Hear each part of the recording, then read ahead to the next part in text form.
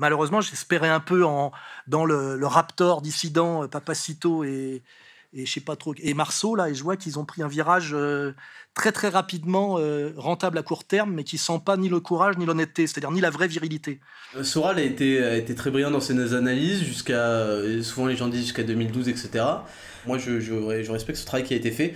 Maintenant je suis en désaccord total sur la ligne de réconciliation euh, qui est euh, qui est pas euh, c'est pas pas qu'elle est mauvaise enfin c'est pas qu'elle est méchante c'est qu'elle est naïve et qu'elle est c'est un péril en fait je, pense réellement que c'est unilatéral moi, ce que je dis tout le temps aux gens, c'est que quand je prends au Moyen-Orient les pays où les chrétiens sont le plus en sécurité, si je fais un constat froid, immédiat, le, pays au Moyen-Orient où les chrétiens sont le plus en sûreté, c'est en Israël. Tu vois Donc moi, en tant que, voilà, en tant que chrétien, pour moi, ça, ça suffit à plutôt avoir tendance à trouver que... Voilà. En fait, je, je pense qu'ils font euh, ce que nous, on devrait adapter à la française. Tu vois. En fait, moi, quand j'entends les, les gros discours euh, nationalistes, ils tendent vers ça. Ils veulent faire un Israël français. mais bon euh, là ça sera d'autres sujets sur effectivement confondre la virilité et le travesti c'est-à-dire vous verrez les photos vous comprendrez quand vous regarderez Marceau euh, c'est dans une douche de salle de boxe il se fait taper au derche quoi. Parce que les mecs le prennent c'est un travelot quoi. Oui bien oui oui.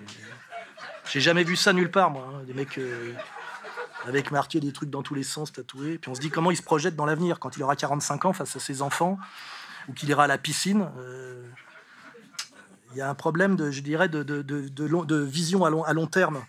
Mais quand on n'a pas de virilité on est obligé de la sursignifier par du par du signe, c'est le principe du tatouage. Je l'avais déjà dit, l'employé de banque avec un tatouage maori, vous voyez.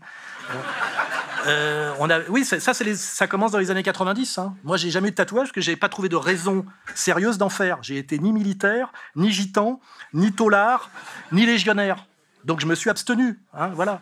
Mais les autres, non. Ils, sont à la fois légionnaires, gitans, marins, tolards, pour oublier qu'en fait, euh, bah, ils font quoi? Ils font du, du- ils, ils- essayent de se faire, euh, de se faire engager au petit journal Canal parce que finalement, à la fin, c'est ça, quoi. Ils font du, ils font du gag, quoi. Voilà. Bon, ça, je me l'ai su payer, puis c'est parce que ça- ce petit plaisir que je me fais. Euh, voilà.